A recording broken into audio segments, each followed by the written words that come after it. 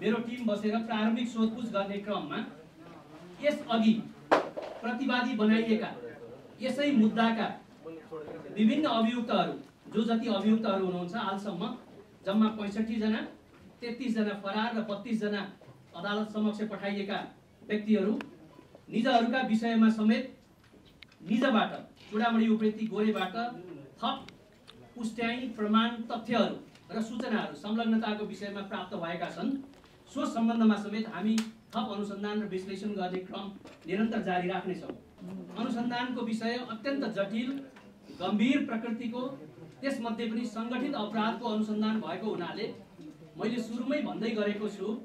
र अदालतमा विचाराधीन विषय भएको हुनाले पनि हामीले यसतर्फ गम्भीरतापूर्वक लिइदिनु हुन म यहाँहरू समक्ष विनम्रतापूर्वक अनुरोध गर्न चाहन्छु।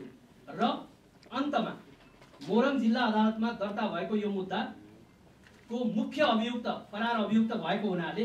निजलाई पक्राउ पर्ना साथै मोरङ जिल्ला अदालतमा बुझाउनु पर्ने कर्तव्य हामीले निर्वाह गर्नुपर्ने भएको हुँदा यथाशक्य छिटो हामीले निजलाई यहाँहरू समक्ष आज सार्वजनिक गर्दै यसपछिको सार्वजनिक पछि पत्रकार सम्मेलन हामी यहीँ अन्त्य गर्दै मोबाइल